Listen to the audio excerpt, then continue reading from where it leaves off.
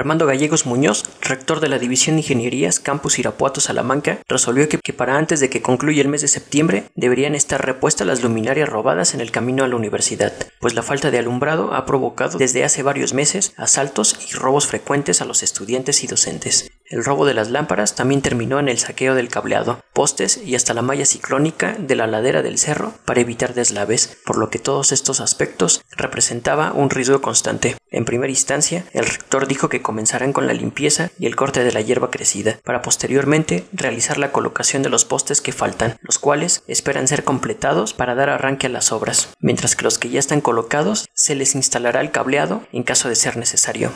Las autoridades de la universidad, eh, ya se acordó que será compartida eh, colocar tanto los postes como las luminarias. Nosotros vamos a apoyar con las luminarias y su colocación. Eh, tengo entendido que la universidad estará los postes. Estamos trabajando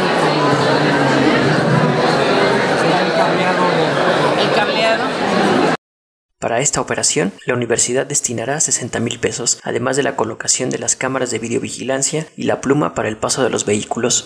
Nosotros ya tenemos son las tres cámaras de videovigilancia y esas tienen el alcance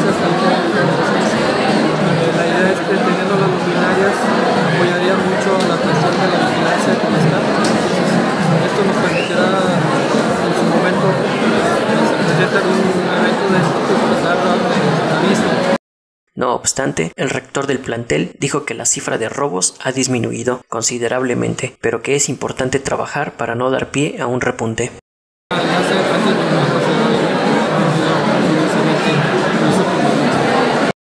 Por su parte, la alcaldesa Beatriz Hernández se comprometió a cumplir con lo acordado con el campus a fin de garantizar la seguridad de los estudiantes que implica tanto transporte de los estudiantes y la población estudiantil que existe aquí pues es bastante alta y es muy necesario que tengamos esa parte.